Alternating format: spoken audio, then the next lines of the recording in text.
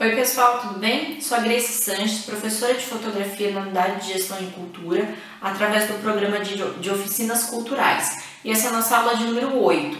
Nós vamos falar hoje sobre a abertura do diafragma.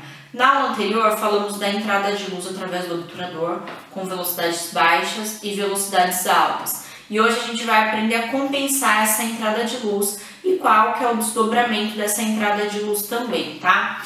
O diafragma, ele fica dentro da nossa lente. Então, vocês estão vendo esse, é, ele é um conjunto de lâminas justapostas. Essa bolinha que está abrindo e fechando, aumentando, é o diafragma.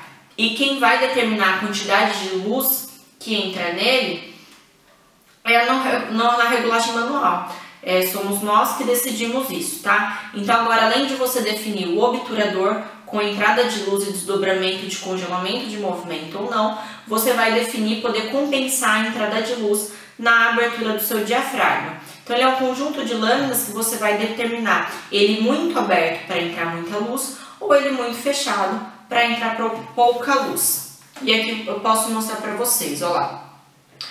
É, o diafragma ele vai variar de acordo com a lente, tá? Aqui na frente da lente ele tem sempre a nomenclatura de, é, de onde que inicia onde que termina esse diafragma. Essa minha lente, o diafragma começa em 3.5, tá? Então não adianta eu querer usar um diafragma 1.4 porque eu não vou conseguir, porque não existe essa opção. Por isso que é importante conhecer o equipamento antes de comprar, é, conhecer o, o que você vai fotografar e o que você quer para saber se esse equipamento vai suprir suas necessidades na questão de luz também, tá? Então, em 1.4 vai entrar uma determinada quantidade de luz, bastante, porque ele está muito aberto. Em 2 ele vai entrar metade de luz de 1.4. Em 2.8 a metade de luz de 2, em F4 a metade de luz de 2.8 e assim vai. Olha aqui em F16, quão pouca luz que entra, tá? Na prática, como que funciona? Vamos imaginar nossa cena, tá?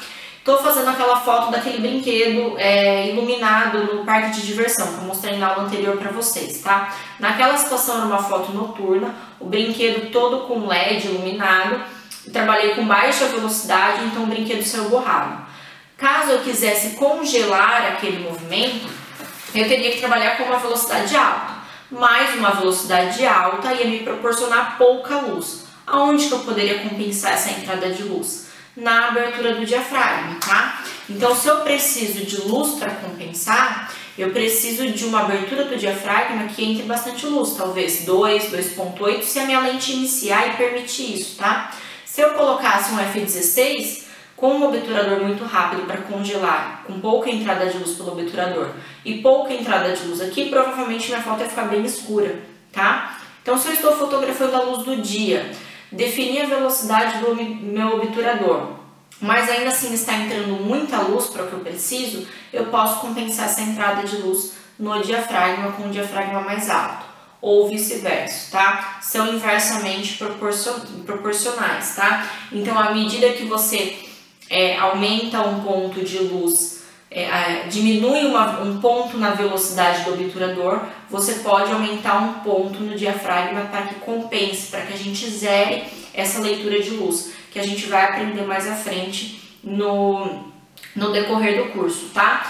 Então, só recapitulando, números baixos de, de abertura de diafragma, a quantidade de luz que vai entrar na minha lente, é, vai entrar muita luz, Quanto menor o número, mais luz entra. E quanto maior o número, menos luz entra nessa minha fotografia, tá? Balanceando ela com a velocidade do obturador para a gente zerar esse fotômetro. Fotômetro no qual a gente vai aprender também, tá? Então, por exemplo, no modo de foto noturna da sua câmera, provavelmente no modo pré-programado, ele vai trabalhar ou com uma velocidade baixa para entrar bastante luz na sua foto e um diafragma baixo também para entrar mais luz. Isso vai variar de equipamento para equipamento, ele vai estabelecer algumas prioridades, tá?